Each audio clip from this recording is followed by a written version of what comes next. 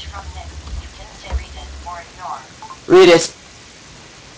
Tell Chris Cruz to stop calling me names and to leave me the fuck alone, please, babe. You can say reply, call, or I'm done. Apply. Say your message. I will. I will. You can say send or try again. Send. Chris! Knock it off! There.